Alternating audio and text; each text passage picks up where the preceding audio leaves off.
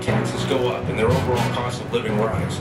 And today, a great many wonder if our city can survive the taxing policies of my opponent and this council. We have seen an exodus of the project from the start, and not just when it's too late to matter. Projects can be negotiated knowledgeably with everyone's.